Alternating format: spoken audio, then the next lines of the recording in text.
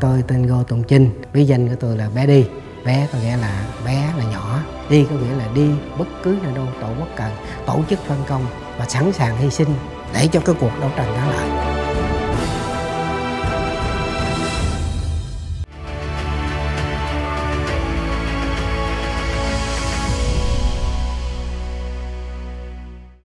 năm 12 tuổi mình nhỏ con lắm mình nhớ là khoảng chừng à, một mét ờ, ba mét tư vậy da thì cũng không có trắng ngâm đen. Lúc đó thì dùng quê của mình là nó xây dựng à, rào ấp chiến lược. Nhà cửa ruộng vườn hay bên ngoài nó bắt đưa vô đây rồi xây nhà tạm để ở rồi. Ai mà dẫn đi sản xuất thì nó bắt nó đánh đập, nó đàn áp, rồi nó quy vô là diệt cộng, rồi nó bắt nó nhốt. Thì mình thấy là bây giờ mình phải là tham gia để đập tàn nó, đánh đuổi nó, để chiến thắng, để giành độc lập dân tộc. Bé Đi bắt đầu cuộc đời hoạt động cách mạng khi chỉ 12 tuổi với công việc làm giao liên nội thành. Năm 1967, đầu sót trước sự hy sinh của người anh thứ ba, bé Đi đã xin chuyển qua làm biệt động của thành đoàn, trực tiếp cầm súng đánh giặc để trả nợ nước thù nhà. Tháng 11 năm 1968, trận đánh tại Ti Chiêu Hồi của bé Đi đã làm rúng động chính quyền Sài Gòn. Chị Tư Kiên, giả nữ sinh, đi vào cổng đúng cái vị trí đặt chiếc xe máy lúc đó 7 giờ kém 5 mình nghiên cứu là đánh cái bùm thì trong 2 phút thì nó nó hoàn hồn nó chạy ra cổng. Thường tâm lý này là chạy cổng thì trái thứ hai từ cổng thổi vô. Nổ banh hết. Đúng theo cái ý đồ theo kịch bản thì tiêu diệt được 10 tên và 16 tên bị thương. Đây là chứng tích đó, những cái miệng đạn đinh thì nó văng ra rõ ràng là đó những cái dấu vết của đinh còn lại. Còn đây là những chiếc xe bé đi dùng để cài chất nổ, đánh các chuyến xe chở quân địch. Chỉ trong hai năm 1967 đến 1969, cậu bé đã tiếp nhận và vận chuyển 20 đợt vũ khí, trực tiếp chiến đấu trong 8 trận, cùng đồng đội tham gia 4 trận, tiêu diệt hàng trăm tên địch. Năm 1967, bé đi bị bắt và giam giữ ở Chí Hòa. Tại đây, cậu bé 15 tuổi đã phát động phong trào chống án ngay tại tòa bằng những lời đối chất sắc sảo khi ra tòa thì nó hỏi tên tuổi mình ngày sinh là, là bị bắt gì? Thì mình mình không trả lời. Tôi ra tòa đây không phải để nghe mấy ông hỏi cung.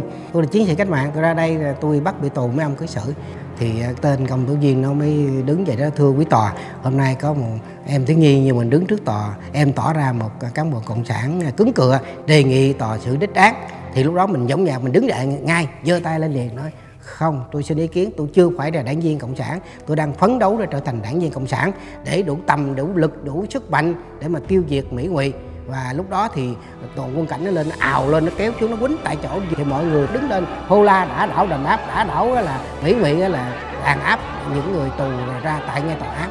Từ đó tạo thành một cái đấu cuộc đấu tranh à, không có đi ra tòa xử nữa. Bé đi bị tòa xử vắng mặt tuyên án 10 năm khổ sai 5 năm biệt xứ. Do còn ở độ tuổi thiếu nhi nên được đưa đến giam giữ tại nhà lao thiếu nhi Đà Lạt. Thế nhưng tại đây, lại một lần nữa, ông cùng các người bạn tù Côn Đảo, Chí Hòa, Đà Nẵng kiên quyết bảo vệ khí tiết, chống chào cờ, chống đàn áp, đòi quyền dân sinh, dân chủ. Trước những đòn đàn áp ngày càng dã man, những chiến sĩ tuổi 15 quyết định sử dụng hình thức đấu tranh quyết liệt nhất, tự mổ bụng. Nó đàn áp mình để nó bắt còng tay vô nó đua xà liêm thì những cái lúc đó thì mình sẽ mổ bụng để phản đối. Cứ cứ nhảy kịch kịch mà nhau lam mà cứ trên kịch kịch mà phải đẩy nó ra thế này, thì lưỡi lam nó mới, nó đứt. Dễ dễ dễ rạch.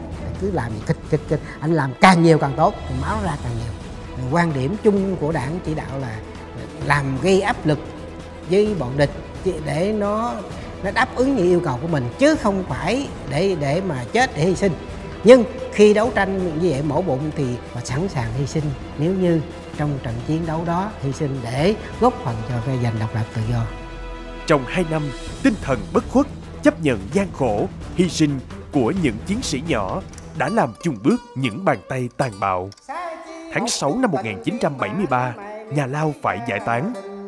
Dẫu biết gia đình là hệ trọng nhưng đất nước đang cần ta tiếp lại hành trang chúng ta là thanh niên của thế hệ hồ chí minh quyết đứng lên bảo vệ vùng đất vùng trời gần 50 năm trôi qua bé đi giờ đã ở độ tuổi thất thập cổ lai hy thế nhưng ông vẫn nhớ như in những ký ức gian khổ mà vẻ vang của thời tuổi trẻ. Những bức tranh thêu khi ở trong tù Những hình ảnh, kỷ vật năm xưa còn sót lại đều được ông cất giữ kỹ lưỡng trong căn phòng này. Và câu chuyện về anh hùng bé đi vẫn mãi là nguồn động lực cho thế hệ trẻ hôm nay. Ngày đêm canh giữ đất trời, đất nước thanh bình, ta xây dựng lại quê hương